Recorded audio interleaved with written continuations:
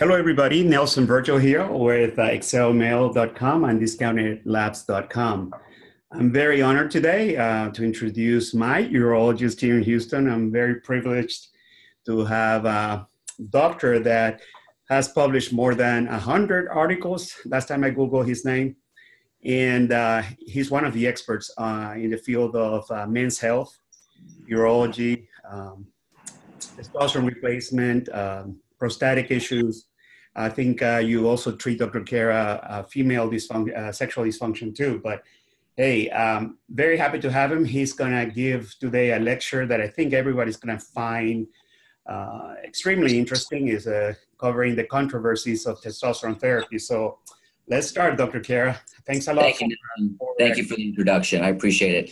Uh, as you mentioned, there has been significant controversies with the use of testosterone therapy over the past five years. Cardiovascular risk, DVT, uh, prostate cancer, BPH.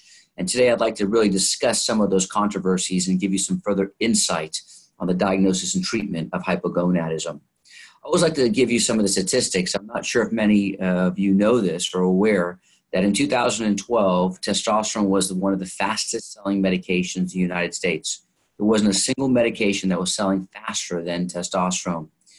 Concern was that while the testosterone sales were increasing, uh, the testing in the United States uh, during this time was also starting to decline.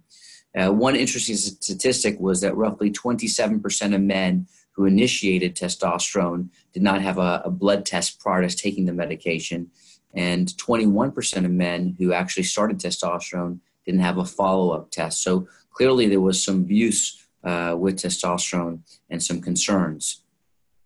When I talk about controversies today, I'd like to give you three different perspectives. I'd like to give you the perspective of what the FDA label has to say, as well as what the guidelines have to say. Uh, we are very fortunate in 2018, uh, two guidelines came out. Uh, the AUA, the American Urologic Association, uh, came out with their testosterone guidelines at the same time, the endocrine guidelines also came out with their testosterone guidelines as well. So I'd like to share with you these three different perspectives as we go forward. The first is on the concept of venous thromboembolism or VTE. And so you should be aware that in the package insert of uh, testosterone products in 2005 in the adverse reaction section of the label, it was amended to note that one patient during the open label extension uh, trial did suffer from a DVT. Now, in 2009, in the label, it was changed again under the new medication guide that listed blood clots in the legs among the serious side effects. So, if you open the package insert uh, for testosterone products, you will see, and this is just for Androgel, uh, that they do uh, put under the section of warnings and precaution uh, a concern for VTE, and I'll, I'll read this. Uh, there have been post marketing reports of VTE events, including DVT, PE, in patients using testosterone products such as Androgel in this case. Evaluate patients who report symptoms of pain, edema, warmth, and erythema in the lower extremity for DVT, and those who present with acute shortness of breath for PE. If a VTE is suspected, uh, discontinue treatment with testosterone and initiate appropriate workup and management. So, this is in the package and you should be aware that patients uh, will read this and they will ask you about this. Now, we should be very uh, careful because uh, the guidelines slightly differ.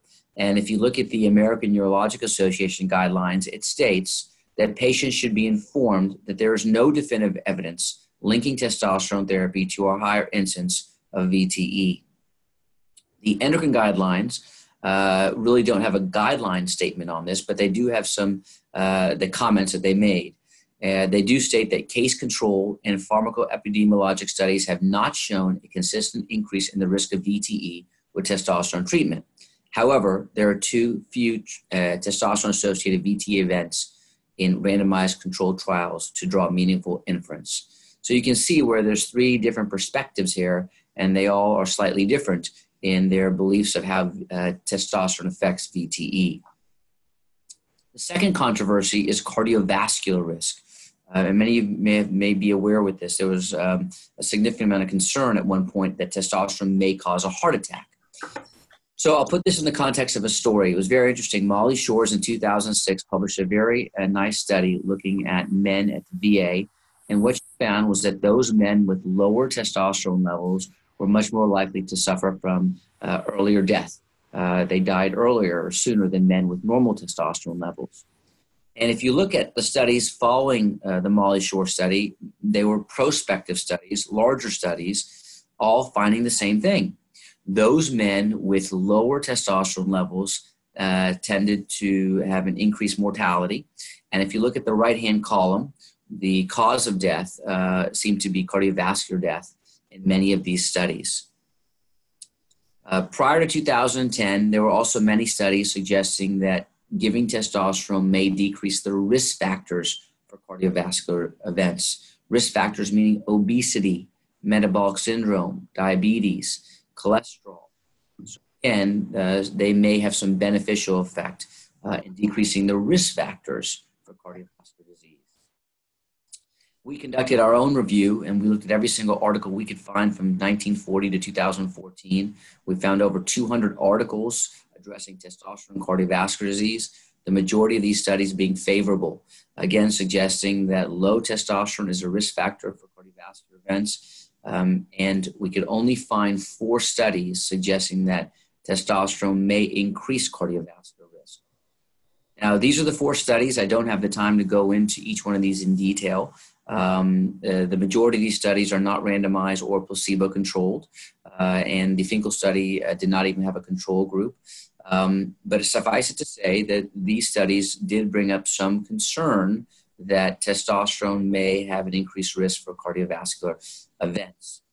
Based on these uh, studies, um, the FDA did put in the package insert, and you should be aware uh, that uh, to date, epidemiologic studies and randomized controlled trials have been inconclusive for determining the risk of major adverse cardiovascular events and patients should be informed of this possible risk when deciding whether to use or to continue the use of Androgel 1%. So this is in the package insert. Now, the EMA, which is the equivalent of the FDA, did look at this data and have not made any changes to their cardiovascular warnings uh, of their products. But the uh, guidelines uh, are a little different. Now, I will tell you that in 2018, we also published um, another study looking at all the studies from the FDA warning in 2015 to current date. And we found 23 studies also looking at testosterone and cardiovascular disease. And again, we couldn't find any studies suggesting that testosterone increases the risk of cardiovascular events. In fact, we found studies suggesting that men who normalized their testosterone with testosterone therapy uh, had a reduced risk of MI and death compared to those men whose testosterone failed to normalize. But the uh, AUA and endocrine guidelines do have statements on this. And the first statement by the AUA guidelines is very clear. Clinicians should inform testosterone deficient patients low testosterone is a risk factor for cardiovascular disease. That's important. Low testosterone is a risk factor for cardiovascular disease. Now, they go on to say prior to initiating testosterone treatment, clinicians should counsel patients that at this time it cannot be stated definitively whether testosterone therapy increases or decreases the risk of cardiovascular events. Now, if a patient does have a cardiovascular event, the AUA guidelines suggest that we wait at least three to six months before starting therapy again. The endocrine guidelines are a little different. The endocrine guidelines recommend that we wait six months, not three to six months, but six months. If a patient suffers from an MI, uh, we should wait at least six months. But the endocrine guidelines also agree there's no conclusive evidence to support that testosterone supplementation is associated with the increased cardiovascular risk in hypogonadal men. The proposed mechanism, just so you know, uh, is uh, several. There's four theories, but the most common theory uh, is the belief that the elevated red blood cell count, also known as erythrocytosis, uh, could then lead to thrombosis, atherogenesis, and increased cardiovascular risk. That is the most common theory. We spent quite a bit of time uh, studying this. This is a study that we published uh, looking at patients. Remember that the injectables have the highest rate of erythrocytosis. In our study, it was 66%. In other studies, about 40%. So if a patient starts developing an elevated red blood cell count, one of the quickest things you can do is get them off the injectable and put them on a gel. Uh, a gel typically has a erythrocytosis rate anywhere from 2, I've seen as high as 13, 14% but it's a lower rate because there's less of a spike that occurs with the gels. The injectables cause a spike, which increase the erythrocytosis rate. Now, that erythrocytosis typically doesn't occur till about three to six months. So there's no point in checking the blood in two or three weeks. You have to give it some time. And the number you want to remember is 54. Uh, the uh, guidelines typically state that at 54, uh, you want to either have the patient uh, phlebotomized, which means donate blood, or you want to decrease the dosage, but we don't want it to get above 54. Dr. Khera, one question here. Sure. Okay. Sure. So, so, um, but has anybody actually published data on hematocrit uh, versus DVT risk? Um, and the reason I'm asking is the DVT reports to the FDA, uh, where did they also report the patient's hematocrit or you know because I've, i've seen some references very small from dr glueck uh, that he is linking into uh, there are 2% of men that have genetic predisposition to DVT. But my question is, have we actually linked hematocrit? Some, some patients even, uh, you know, uh, speculate that estradiol, which I don't think is a factor in DVT. Um, sure. Yeah. So two points. One, there has never been a, a testosterone trial, a testosterone trial showing that there's an, that the elevation in the hematocrit on the testosterone trial was the cause of a DVT, right? So so there's been anecdotal data on patients taking testosterone and getting a DVT, but there's not been a trial showing that the testosterone, which caused an elevation in hematocrit, led to a DVT. Majority of the data that comes from an elevation in hematocrit causing a DVT is from the polycythemia vera data. Polycythemia vera is a malignancy of the bone marrow. And there has been several studies showing that an elevation in uh, hematocrit in this population may lead to an increase in DVT. Some studies were inconclusive. Some studies did suggest that, yes, in this population, an elevation in hematocrit did lead to a DVT. But we should be clear that the polycythemia vera population is very different from the general population, right? And so it's really using a transference. You're just insinuating that this population and this data can be used in the general population. So again, I think you should be very careful. We, we need a trial. We need a large randomized placebo-controlled trial giving testosterone, looking at hematocrits in order to really assess uh, if it's really the hematocrit causing the DVT.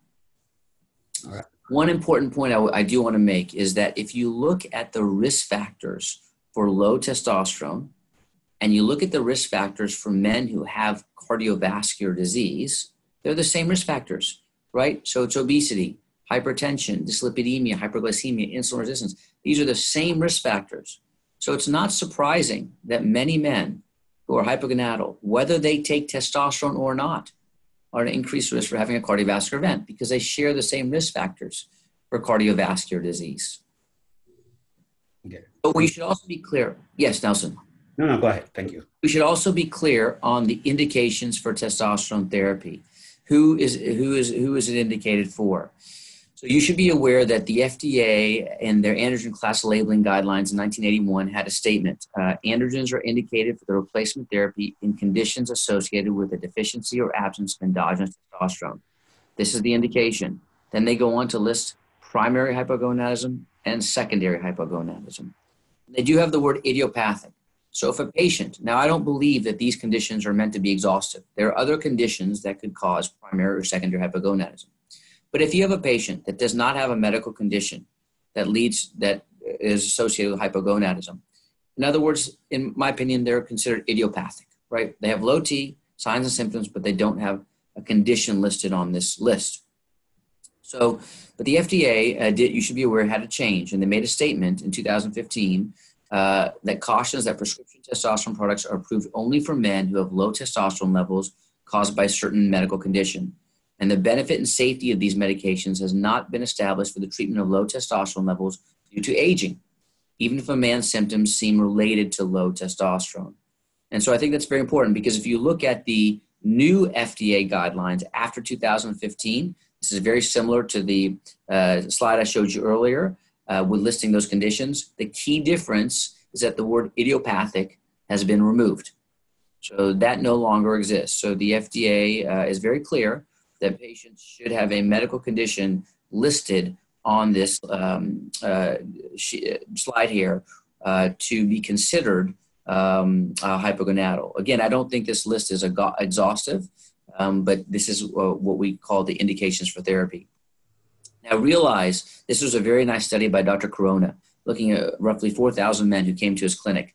And he found that uh, roughly 20% of men had hypogonadism. But the majority of hypogonadism is secondary hypogonadism, so, uh, roughly 85%. Of that 85% of men who have secondary hypogonadism, only 11% of them have a true medical condition or specific condition. 89% of them is due to an unknown cause. And if you look carefully at that unknown cause, um, roughly 70% of those men who are unknown uh, have actually one of three conditions. It's either diabetes, obesity, or metabolic syndrome. So uh, many of us believe that, that those are conditions, particularly obesity, should be considered a true medical condition associated with low testosterone. But again, um, it, it, doesn't fit the list that currently is exi- uh, that lists uh, those conditions such as pituitary tumor. So again, uh, majority of the patients don't have a medical condition listed uh, on the list of conditions associated with hypogonadism. We believe that those men that don't have a, a medical condition but still have signs and symptoms of hypogonadism um, uh, and low testosterone values uh, also are benefiting from testosterone. In other words, men who have low testosterone due to a pituitary tumor or men who have low testosterone just simply because their testosterone is low um, and they suffer from the condition uh, should not be treated differently. They both will benefit uh, from testosterone therapy. And so we call these patients adult onset hypogonadism. Now, remember a very important thing um, men don't lose a significant amount of testosterone as they age, aging alone. They typically acquire medical conditions such as diabetes, obesity, metabolic syndrome that drop their testosterone uh, below a threshold of 300. But aging alone, majority of time should majority should not drop a man's testosterone level uh, below 300. It is the acquisition of medical conditions as we get older that will drop the testosterone, obesity, diabetes, metabolic syndrome. So again, this is uh, this is illustrating the point. These are two studies by Travison and Handelsman. The red bar is the cutoff of low testosterone, and if you look even at the uh, first study by Travison, uh, even up to 85 years of age, the majority of men, healthy men, do not have a decline in their testosterone below 300 due to aging alone. If you look at the study by Handelsman as well, uh, if you look at the 50th percentile, uh, even up to 100 years of age, that's when they start seeing a slight decline. Um, and so, again, aging alone should not cause a significant decline in, in testosterone. It's really the acquisition of comorbid conditions. Dr. Uh, Dr. Khera, a question here. Yes on the previous slide. You know, when we talk, and I get this question a lot, we get we talk a lot about total testosterone, testosterone, testosterone. We really do not address the free testosterone. There's actually very few studies that have even looked at free testosterone. But doesn't free testosterone decrease with with aging somehow? The sex hormone binding globulin increasing, That's or is that all related to? A great point. Such a great point, and that is true. We do know that the total testosterone does not signi- decline significantly as we age. But we do know that SHBG does go up as men age. That is true. And that rise in SHBG is, is greater than the decline we see in total testosterone. And so your point is very valid. The net effect is that we do see a significant decline in free testosterone, uh, more so than we see in total. And remember that the body is much more sensitive to the free testosterone levels than the total testosterone levels. And so many of these patients who have normal uh, as they get older, particularly as they get older, who have normal testosterone levels, let's say in the uh, late three, uh, 350 or 380, if you check for the free testosterone, SHBG, you'll find that actually it's low. Uh, and that's because remember, as we get older, the SHBG goes up much more rapidly. So you're correct. Uh, the free testosterone does go down more as we age. Yeah, and so, some guys actually ask me, why don't we have guidelines that specifically state the range of free testosterone instead. But my answer is because we don't have enough data about what yeah. is normal free testosterone, right? Or right. Well, there is there there is data uh, looking at free testosterone ranges, but but look if you look at the even these slides I'm showing you here, and you look at the total testosterone in men between 50 and even 70 in the Travison study, or even between 60 and 70 in the Handelsman study, we don't see a significant decline on total. We were taught in the old days, you know, the total testosterone goes down, the andropause concept. It's not necessarily true. Healthy men should not have a significant decline in their total testosterone levels. But when these healthy men develop obesity, which will plummet the T, diabetes, metabolic syndrome, uh, opioid use, right, uh, uh, prednisone use, HIV uh, will drop it. These are certain conditions you require that will drop it down. So yes, you acquire them as you get older, but it's not the aging, it's the acquisition of those conditions. But your, your point on free testosterone is very valid.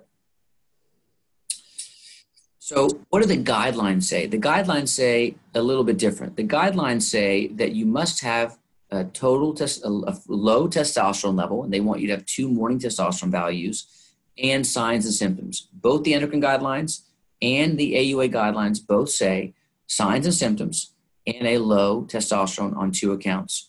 They are not saying that you have to have a medical condition listed uh, in order to be a candidate for testosterone therapy. So it's slightly slightly different.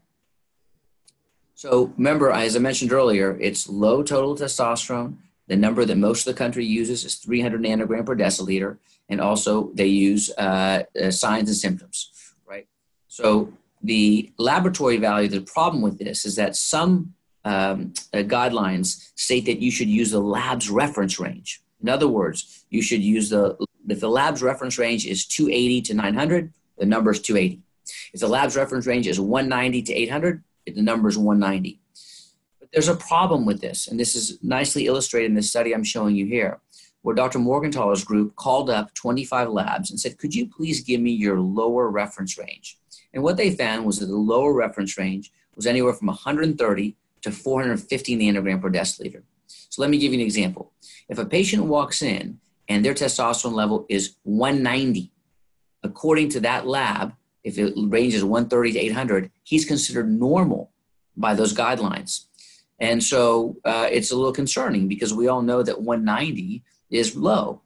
Uh, some insurance companies have also adopted these labs reference ranges as, a, as the lower limit as the cutoff. So I've had a patient before that came in and the lab reference range for his lab, I believe, was uh, uh 190 to 800. And I think he came in with a lab of 210, which I know is low and you symptomatic. I prescribed the testosterone product, and uh, the insurance company said, I'm sorry, but according to this, he's considered normal. And because the range says 190 to 800, and he's 210. And so again, I, there is concerns with using the lab's lower reference range because many patients who are truly hypogonadal uh, cannot even get therapy covered because of these regulations. Yeah, I want to add something to this too. That you know, and I see that uh, 290. You know, I see it in the 300 range. You know, some guys are emailing me about, you know, they have 300, 280, or 290. Yes, and, and obviously all the symptoms, and uh, they get declined for uh, for coverage on the insurance. But um, you know, I remind people we have other ways to get testosterone with a prescription, and that's through compounding pharmacies. Sure actually make the product at a cheaper price that even out of pocket cash price is even as low as a copay. So um, believe it or not, because you're a great doctor and you obviously are an expert in the field, but many doctors don't tell the patient that gets declined by insurance that there is that option. And the patient basically just walks away and without treatment. Right. You know?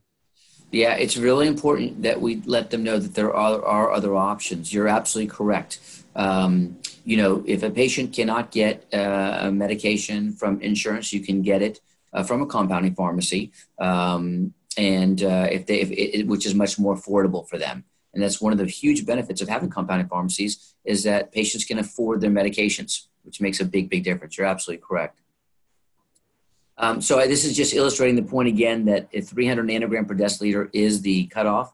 I just want to make my own comment here. I don't believe that we have to have one number for everybody. It doesn't make sense. What you're saying is that at 290, everybody must feel bad, and at 310, everyone must feel good. And that doesn't really make a lot of sense. Uh, we showed also at Baylor, we, we, took the blood from many patients who uh, came in as patients, and we looked at their DNA. And we looked at something called the CAG repeat, which is the sensitivity of the androgen receptor. And we showed that many patients who have very insensitive androgen receptors need more testosterone to feel better. And we showed that many patients who have very sensitive receptors don't need as much testosterone.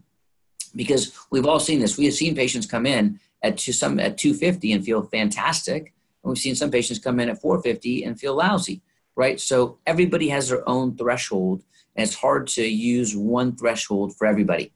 There has to be some leeway here. And other factors like thyroid too, you know. I mean, and some doctors don't even check thyroid function. You know?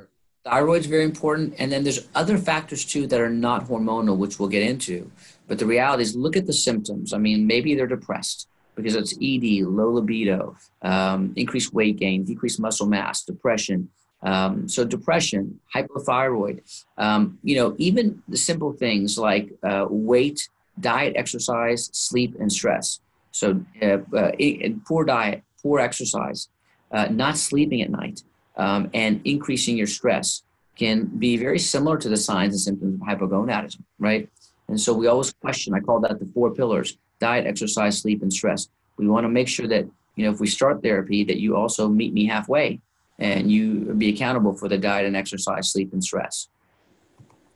Two things that always come up, Nelson, are prostate cancer and BPH. Patients who say, I Googled it and I heard I can get prostate cancer. And so you really want to know where does that data come from? If you look at the first point uh, on the warnings and precaution, uh, under BPH, it says patients with BPH treated with androgens are at an increased risk for worsening of signs and symptoms of BPH. Monitor patients with BPH for worsening signs and symptoms. So I want to be clear there's not a single study uh, that shows that men taking androgens have a worsening of their BPH symptoms. In fact, majority of the studies show that there's no effect or there's improvement in overall uh, urinary symptoms over long-term therapy. Um, and then it also says that you shouldn't treat men uh, with a history of breast cancer or prostate cancer as well. So I just want to show you some of that data. The guidelines are very clear, and I'm so glad that the AUA finally put out this statement because until then we didn't have a statement like this. But the first statement says clinicians should inform patients of the absence of evidence linking testosterone therapy to the development of prostate cancer. Period. Strong recommendation, grade B. So finally, there's a statement by the American Urological Association making it very clear that those men uh, should be informed that testosterone does not increase the risk of developing prostate cancer. Now, the AUA also goes on to say that if a man has a history of prostate cancer, radical prostatectomy, radiation, uh, we should inform them that we still don't have enough evidence to support the risk and benefit ratio of testosterone therapy in that population. But again, these are important statements. We know that testosterone is very important in stimulating nitric oxide and nitric oxide synthase within the bladder and the prostate. Why is that important? Because nitric oxide, nitric oxide synthase is very important for keeping the bladder uh, healthy, uh, helping contractile ability, uh, also within the urethra as well. So when you go back, when you lose testosterone and you decrease nitric oxide, nitric oxide synthase, it's the belief that that can make um, urinary symptoms worse. That's one of the main theories between between BPH, testosterone, uh, and that's the link. Now, if you look at one of the earlier studies by Shigehara in 2011, uh, they showed 52 men with BPH, lower urinary tract symptoms. They were receiving testosterone every week uh, for four weeks. Excuse me, every four weeks compared to a control group. Those men that received testosterone had an improvement in urinary symptoms, mean flow rate, and voided volumes at the end of 12 months, not a worsening. A very nice study by Haider's group in 2009 also showed the same thing that those men receiving testosterone over long term had an improvement in urinary symptom scores. Um, and the C reactive protein also went down, suggesting that this is an anti inflammatory effect, testosterone on the prostate. By far, this is the best review article that I've seen on testosterone and BPH. Um, it's by DeLay and Kohler, and they went through every article they could find on testosterone and uh, causing worsening of lower urinary tract symptoms. And what they found was that either there was no worsening of lower urinary tract symptoms at all, or an improvement in lower urinary tract symptoms over long-term therapy. So again, it's important that we know the data. If you ask men throughout the world, what's your number one reason why you don't take testosterone? If you ask clinicians, what's the number one reason why you don't prescribe testosterone? If you look at every country, it's predominantly, I'm scared of giving this patient prostate cancer. That is the concern. This started in 1941 by Huggins and Hodges, uh, where they showed in a seminal paper that reducing testosterone to castrate levels caused prostate cancer to regress. In that same paper, they showed that the administration of exogenous testosterone caused prostate cancer to grow. If you pull that article, you'll find something very interesting. It's based on one single patient, 1941. One hmm. single patient is where we got this concern. One of the most amazing studies I've seen is by Lenny Marks, and this illustrates the prostate saturation model. He did a very interesting study. It was a randomized, double blinded, placebo controlled trial, 44 men. You had to have low testosterone and symptoms to enter the trial, and they received testosterone injections every two weeks. But they did something very interesting. They biopsied these patients' prostates before and six months after starting therapy. And what do they find? In, if you look at the blood, those men who received testosterone had an increase in their serum testosterone and their DHT levels. That's what you'd expect. You didn't see any change whatsoever in the placebo arm. How about in the prostate? This is very important. Absolutely no change at all in serum testosterone or DHT. Excuse me, prostate testosterone or DHT, suggesting that the prostate acts like a sponge. It takes up all the testosterone that it wants, and then it doesn't care how high you raise the testosterone, it's finished. So I'll show you some examples. This is the prostate saturation model. And let's say, for example, that a man walks in with a testosterone of 250. If you raise the testosterone, and that's the x axis, you don't see any change in PSA or prostate growth based on this model. If you give this man Lupron, a medication that shuts down the testosterone, you will see the PSA go all the way down. This is called the prostate saturation model. Many of us, including myself, believe that the saturation is roughly around 250, roughly around 250. So this is an excellent example. This is Dr. Shalender Bhasin study where he gave testosterone at 600 milligrams uh, of testosterone or placebo for 10 weeks. What did he find? Even when you raise testosterone levels almost up to 2,500, if you look at the orange line, there's no change in PSA whatsoever. This is called uh, the testosterone flare. We were taught in residency if you give a Lupron, which is uh, LHRH agonist, you will see a significant increase in serum testosterone, and that's the white bar. But you can see that there's no change in PSA, the yellow bar. But as the testosterone starts to come down, you see a decrease in serum PSA. A very nice example of the prostate saturation model. This is a study that I conducted in 2011. I had 451 patients, um, and I divided them into two groups those with low testosterone, less than 250, where we believe the saturation model, those above 250. And what did we find? Exactly what I'd expect. Those patients less than 250, when you put them on testosterone, their PSA increases when you give them testosterone. You see a correlation.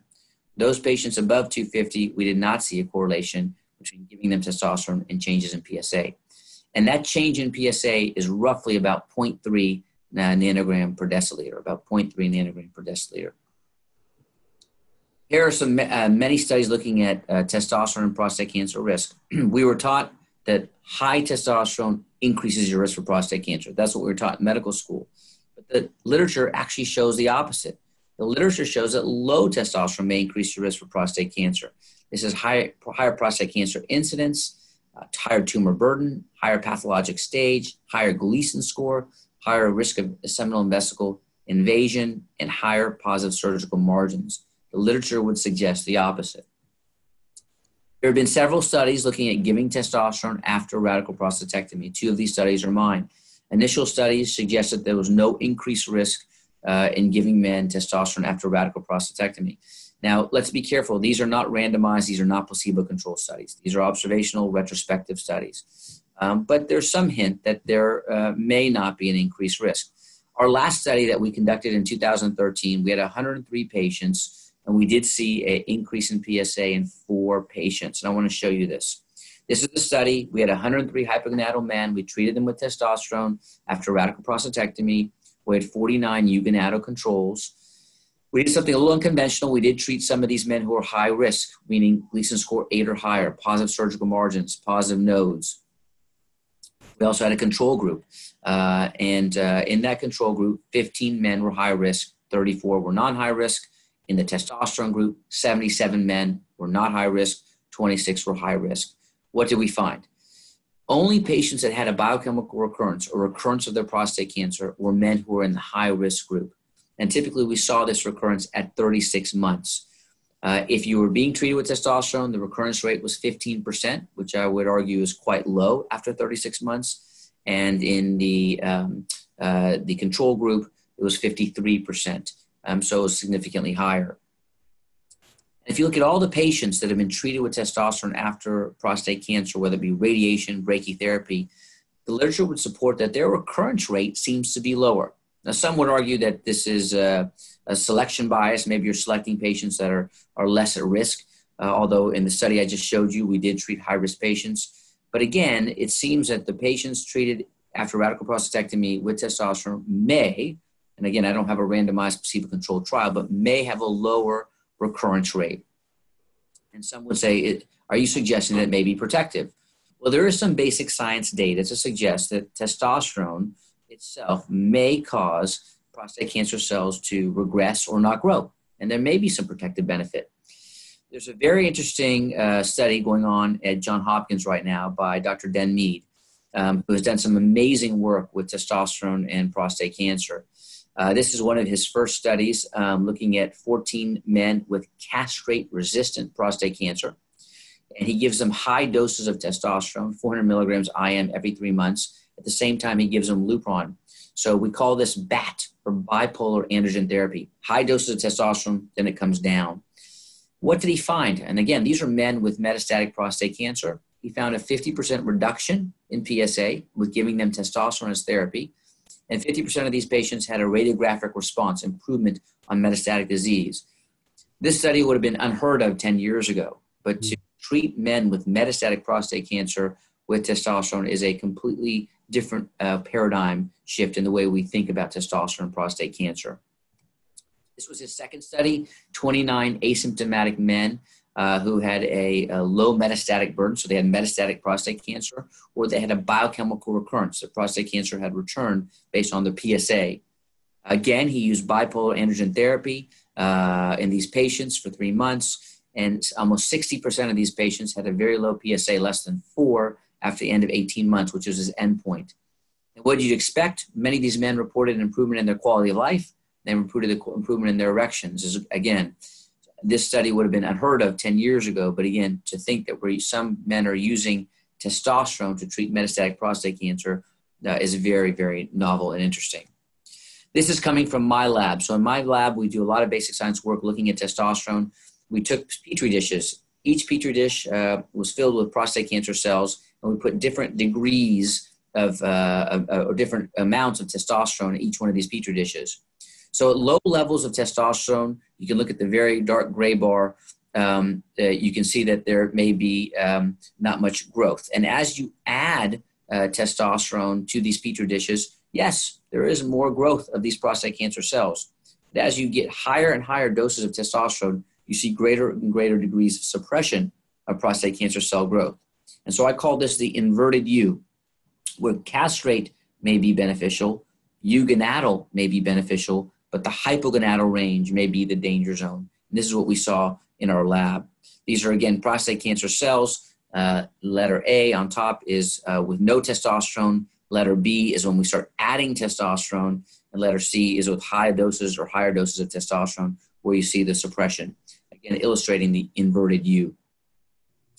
Uh, we did in the past uh, start a randomized placebo controlled trial giving testosterone to men after radical prostatectomy.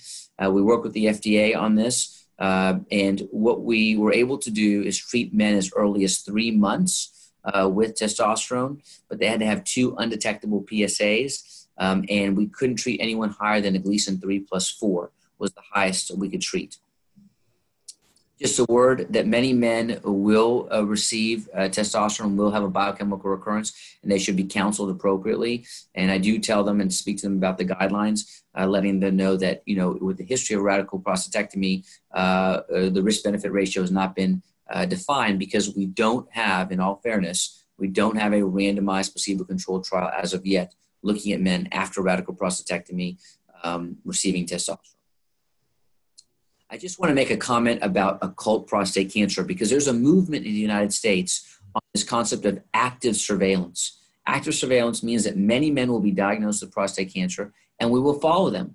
Uh, and we will cautiously follow them over time.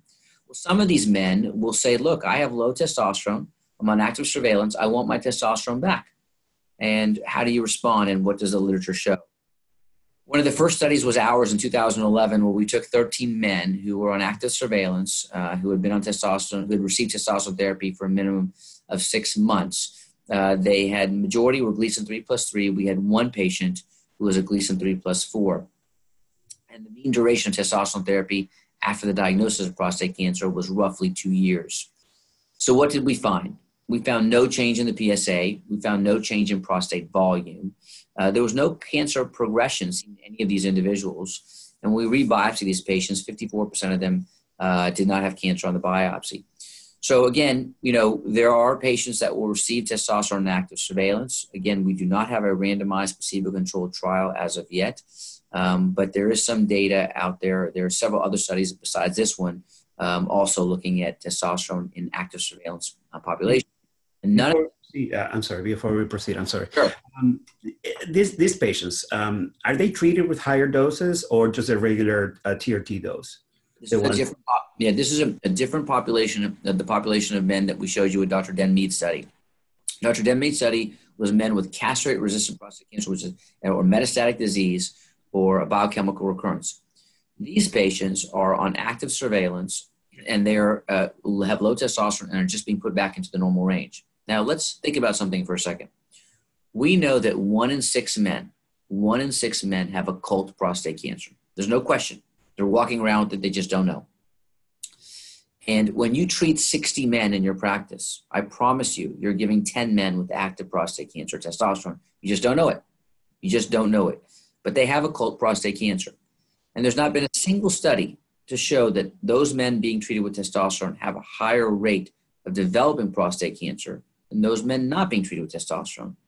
And so, again, I know when I'm treating many of these men with testosterone that have potentially have occult prostate cancer, but they're not lighting up, right?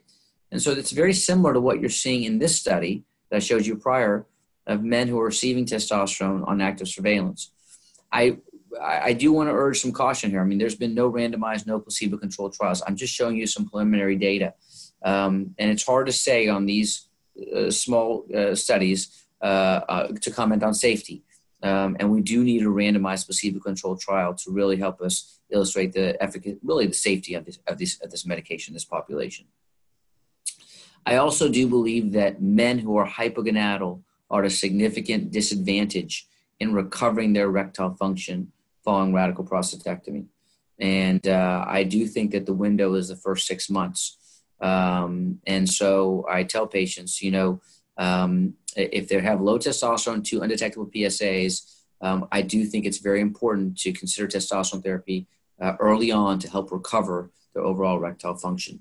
And what is that period of time? And you said six months is probably the tops. And if, the first six months is very important. Uh, you know, we know that the majority of recovery of erectile function is within the first year. You know, majority of uh, erectile, but to me, the first six months is extremely important and that's why we spend a lot of time uh, undergoing a concept called penile rehabilitation and using medications to help increase the blood flow and the oxygen to the penile tissue, helping these men once again obtain their uh, uh, erections because you have to do it early on. Uh, because if you wait, we know that men develop venous leak. They're more likely to develop increased collagen fibrosis within the penile tissue if you just uh, stay dormant and watch. And so it's a proactive approach. And part of that proactive approach is also using testosterone therapy uh, to help with recovery of overall erectile function. I do want to comment on testosterone and fertility because it's important. Many clinicians do not know that testosterone is a natural contraceptive and it can significantly uh, decrease a man's sperm count.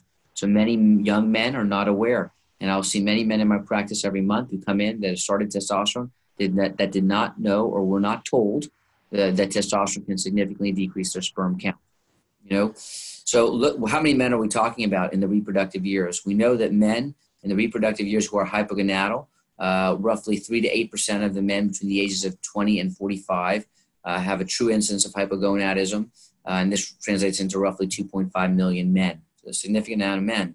And some of these men will come to you, they have low testosterone, and they'll say, Look, I want to start testosterone, but I also want to have kids in the future. What do you do?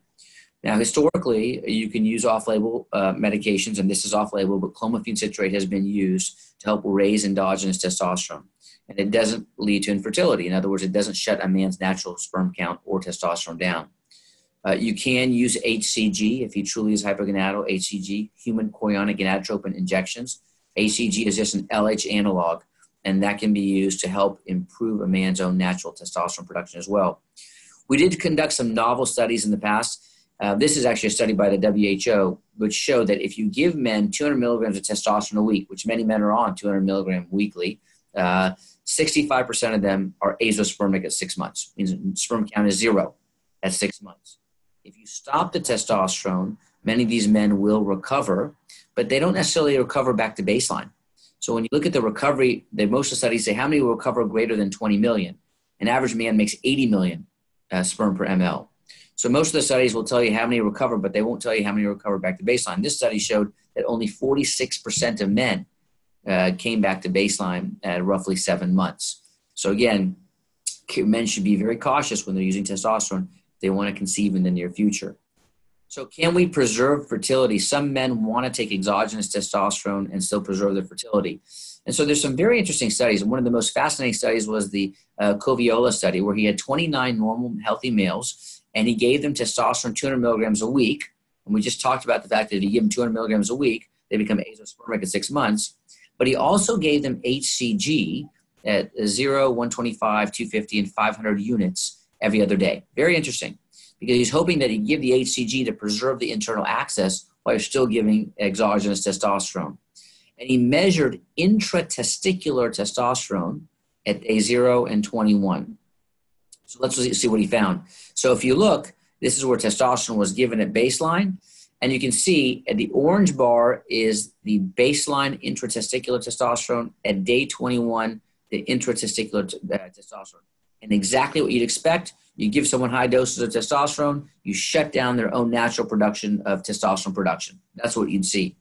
But when you start giving low doses of HCG, what you see is you start preserving intratesticular testosterone at the same time that you're giving exogenous testosterone, right? Very interesting. So you're not shutting down. So this is the reason why many of uh, clinicians use HCG to preserve testicular atrophy, right? Because what it does is it continues to produce your own natural testosterone to some degree without shutting down uh, those cells. And that does help with atrophy and it does help with producing your own natural testosterone. So at Baylor, uh, we looked at exa- extrapolating that data and saying, okay, if it's true, can you also preserve someone's fertility by giving them HCG? And this is a study looking at 26 men treated with daily testosterone gel or weekly testosterone injections. They received HCG 500 every other day, and the follow up was six months. And what they find is, again, six months, you see a very slight decline in uh, spermatogenesis from 35 million to 30 million after six months of giving them HCG plus testosterone. Now, I, this is an older study. It was in 2013. I've continued to do this. I just want to give a word of caution that there are some men, even if you give them HCG 500 every other day, they will see a significant decline uh, in their sperm production. So, not all men uh, will have just a slight uh, decline. Some will have a much more significant decline. But as, as a way of preserving testicular volume and possibly preserving fertility in some of these men. Yeah, let's um, a question here. Yeah, it seems I reviewed the data that um, you and Dr. Lipshultz's group um, created on this. Seems like the older you are, the longer you have been on testosterone, the lower the response. Um, at least term- absolutely correct, and that is true. It's depending on age, uh, uh, ethnicity. We know also that if you how long you've been on the medication and the dose, right?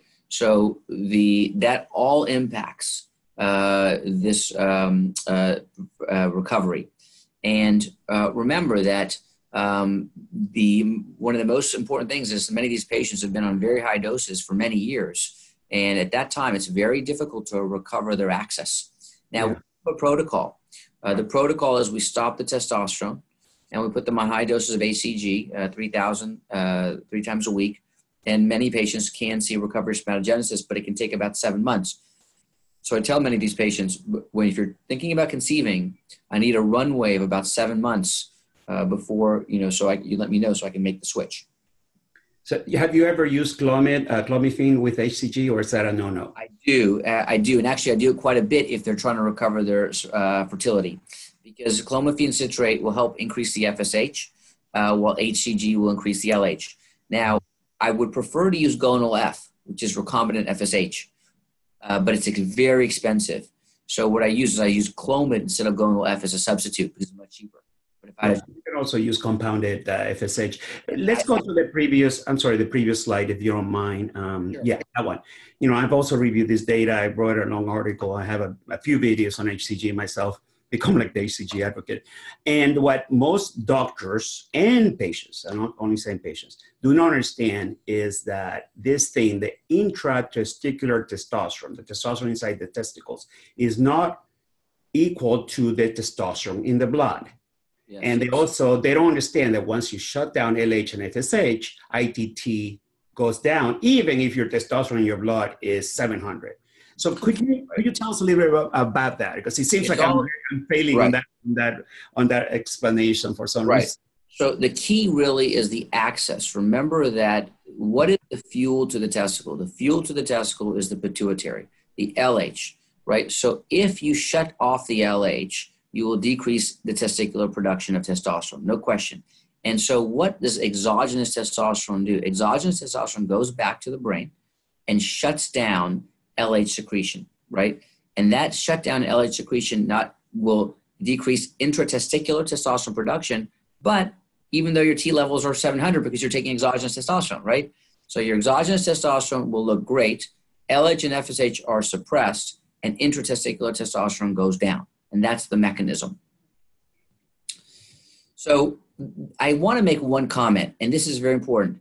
If you look at diseases in the United States, obesity, diabetes, hypertension, hyperlipidemia, you go to your primary care physician, we don't, they don't start treating you with a pill.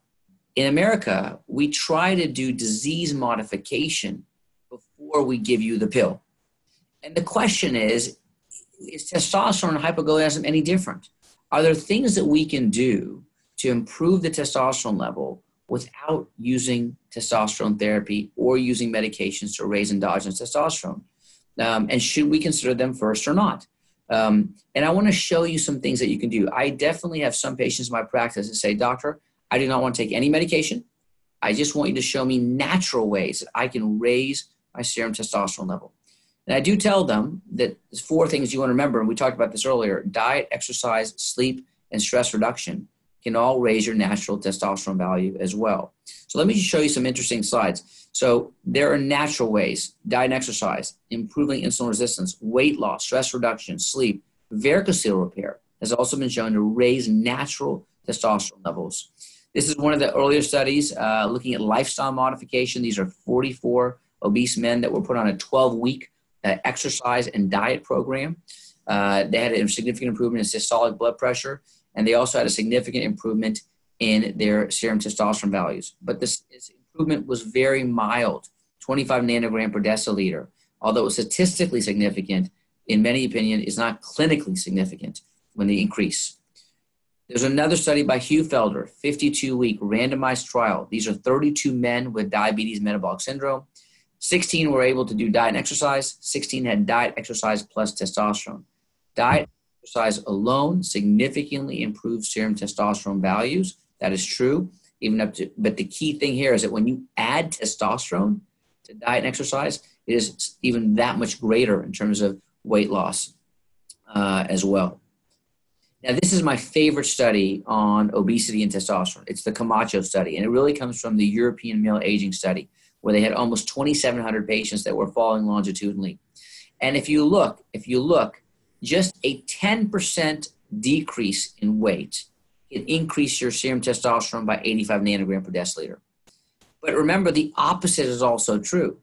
A 10% increase in weight decreases your testosterone by 85 nanogram per deciliter. There's a bimodal direction, we call it. But look at the line. It's not straight, it's curvilinear. So if you lose 15% of your body weight, uh, you can almost see 180 nanogram per deciliter increase in your serum testosterone. But if you and, and the vice versa increases as well. So again, uh, I tell patients if you can lose weight and keep it off, you actually will see a significant improvement. And let me show you a great example. It comes from the bariatric, bariatric literature where we do weight loss surgery, right? So in this study, it's a meta-analysis of 22 studies, and mean percent weight uh, weight loss was 10% on a low-calorie diet, but you lose 32% uh, uh, of your weight by bariatric surgery. What happens on low-calorie diet? 83 nanogram per deciliter increase in testosterone. That's great. 83% uh, in, in nanogram per deciliter.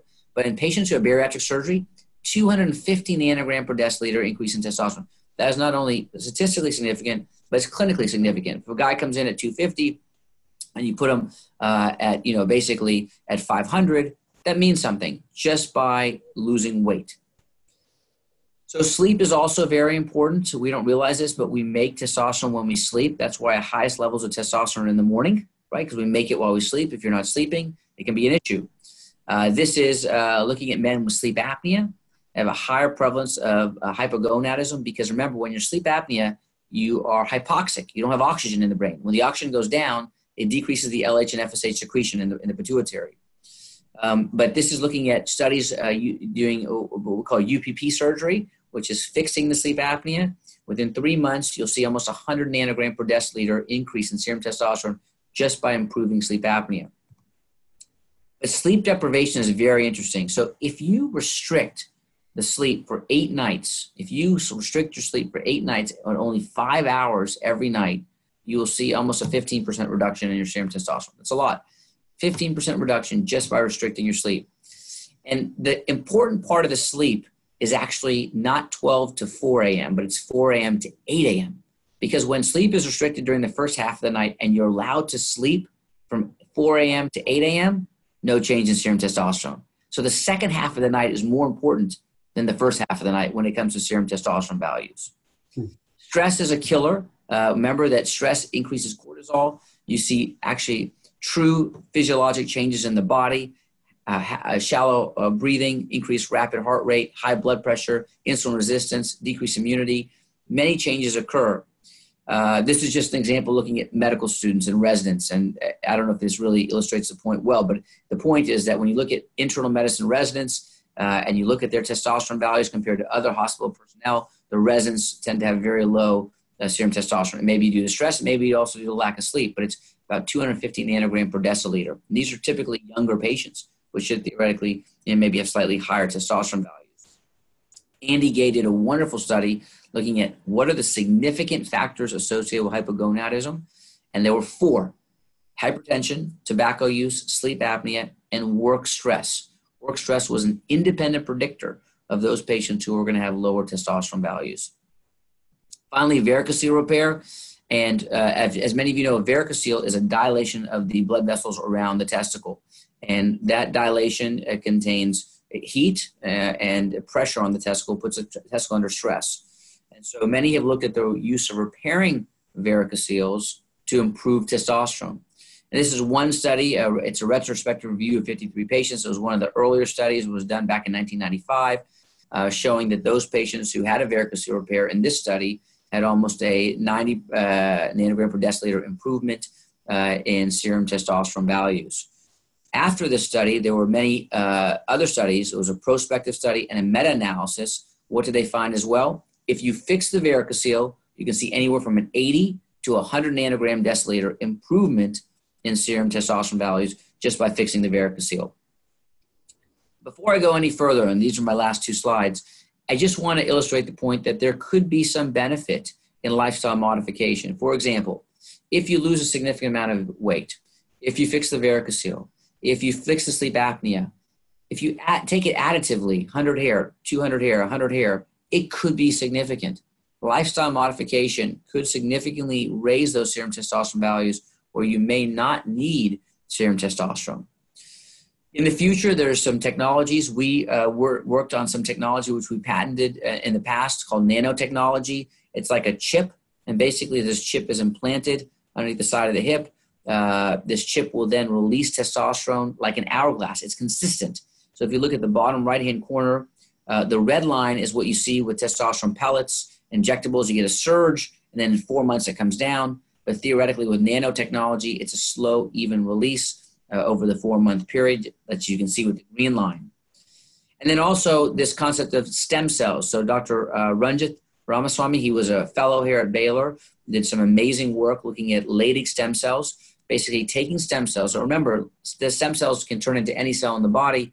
He's taking stem cells that will then be injected into the testicle, and those stem cells now start producing a man's own testosterone again. So instead of giving him testosterone, he's now producing his own testosterone, which is fascinating work. So, in conclusion, uh, the diagnosis of hypogonadism can be challenging, with many men being treated off label. Clinicians prescribing testosterone therapy should be aware of the 2018 AUA and endocrine guidelines and also the recent FDA label changes. Testosterone therapy has been shown to improve BPH and lower urinary tract symptoms. Uh, serum testosterone has been associated with an increased risk of MI and cardiovascular risk factors. To date, there's no convincing data to support that testosterone therapy causes prostate cancer. And I do believe that patients should be appropriately counseled on the risk of VTE, CVE, BPH, and prostate cancer when prescribing testosterone therapy. And thank you very much for joining me today.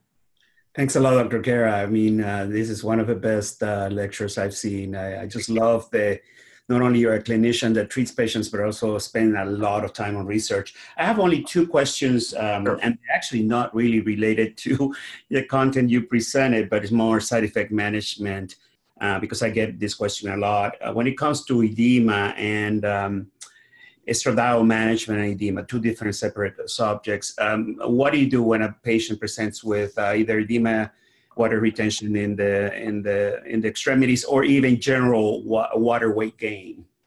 So two things uh, first of all i look at the source of testosterone that you're using. We know that cypionate is a little bit more anabolic and has a little bit more sodium retention.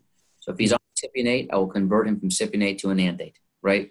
That's important. Sometimes it's a dose effect. If the testosterone is too high you may get too much edema as well. So you may want to lower the dose as well I do look at estradiol, but estradiol is more important to me for two things. One, if it's too high, it's, I'm worried about gynecomastia, right? But it's interesting. In the old days, we used to give men a lot of uh, aromatase inhibitors because we said estradiol is bad. We must decrease estradiol because uh, more estradiol, the worse. And we'd shut them down. But that is not true. Actually, Finkelstein had a phenomenal article showing that actually many of the, many of the beneficial effects, even sexual effects of testosterone, are actually an estradiol effect. So you don't want to shut the estrogen down. You want to uh, keep it at a good level. Um, and you want to, uh, you, obviously, I don't want it too high, but I don't want it zero either. My sweet spot has historically been between 30 and 60. You know, so I don't want it below 30, but I want it too much higher than 60. So I will use aromatase inhibitors to keep it between that range. But you don't use it in many patients. I mean, proportion, what are proportion of patients that are using? Only who needs it, right? Only who needs it. So I don't throw it on liberally on everyone without checking their estrogen. Remember, what's the conversion rate to estradiol? It's 0.3%. So of the testosterone that we give, 0.3% is converted to estrogen. And so based on his estrogen level, you can decide how much aromatase inhibitor to give. Uh, it's about managing it. So you look at the level, you start at one milligram a week if you recheck it, it's still too high. You can give two milligrams a week, but mm-hmm. Manage it. And in the old days, we used to just give them one milligram a day, or and just not look at it. But that that wasn't right because that had an adverse effect on libido and bone. And bone. He's right. Long term. That's correct. Well, thank you very much. I'm sure you're going to get a lot of questions um, from this video. I'll be posting it on YouTube, excelmale.com, and other uh, networks like Facebook.